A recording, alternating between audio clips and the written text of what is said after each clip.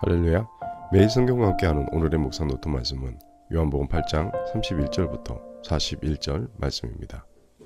그러므로 예수께서 자기를 믿은 유대인들에게 이르시되 너희가 내 말에 거하면 참으로 내 제자가 되고 진리를 알지니 진리가 너희를 자유롭게 하리라 우리가 아브라함의 자손이라 남의 종이 된 적이 없거늘 어찌하여 우리가 자유롭게 되리라 하느냐 진실로 진실로 너희에게 이르노니 죄를 범하는 자마다 죄의 종이라.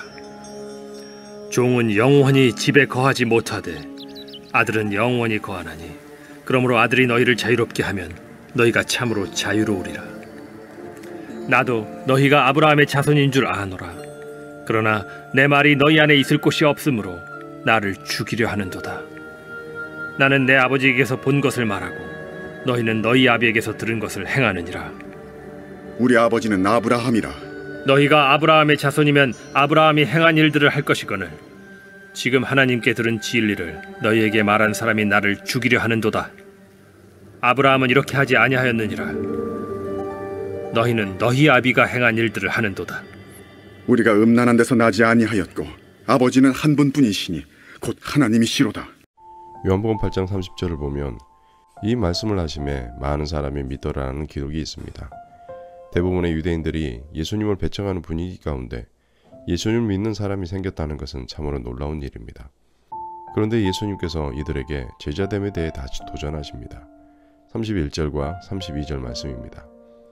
그러므로 예수께서 자기를 믿는 유대인들에게 이르시되 너희가 내 말에 거하면 참으로 내 제가 되고 진리를 알지니 진리가 너희를 자유롭게 하리라. 그렇습니다. 그들의 주장처럼 아브라함의 자손이라 해도 죄를 범하는 자는 죄의 종일 뿐입니다. 우리가 예수님을 믿는다는 것은 단순히 피상적인 믿음이 아니라 그분의 말씀 안에 거하는 것입니다. 단순히 그 말씀을 보고 듣는 것이 의무가 아니라 그 말씀 자체로 살아계신 주님을 만나야 합니다. 비록 삶의 자리가 고통을 피할 수 없는 자리라 할지라도 말씀 안에 거하는 삶을 살아야 제자입니다. 그런데 놀라운 것은 이러한 주님의 요청에 대한 결과는 바로 자유라는 것입니다. 누군가의 종이 된다는 것은 기분 나쁜 일입니다. 예수님은 죄를 짓는 사람은 모두 죄의 종이라고 이야기하십니다. 사람이 자기 인생의 주인 노릇하려 하지만 오히려 죄를 붙들고 살아갑니다. 우리 주님의 진리의 말씀을 붙들 때 죄에서 진정한 자유를 누립니다. 예수님이 이 이야기를 하신 것은 지금 예수님을 믿는다고 하는 유대인들을 향해서입니다. 분명 그들은 예수님을 믿었고 구세주가 필요하다는 사실을 인정했지만 실제 살아가는 삶의 터전에서는 그 사실을 부인했던 것입니다.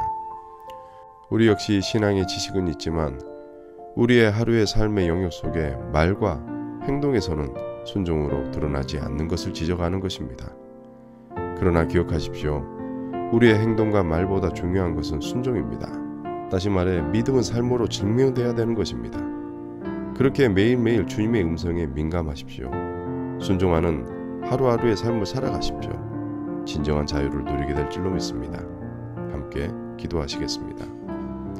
주님, 오늘 하루도 진리의 말씀 안에 거하게 하시고 저를 얽매는 근심과 속박 속에 자유함을 누리게 하시니 참으로 감사합니다.